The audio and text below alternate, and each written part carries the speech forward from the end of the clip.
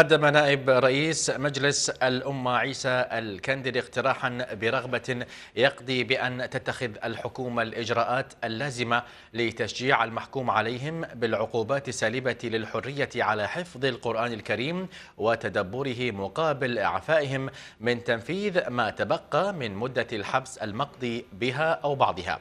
موضحا أن الهدف الأسمى للعقوبة بخلاف الردع الخاص هو ترميم الشخصية الإنسانية وتطهيرها من دنس الجريمة التي لحق بها والعودة بصاحبها بعد إصلاحها إلى المجتمع ليشارك في دفع عجلة العمل الوطني.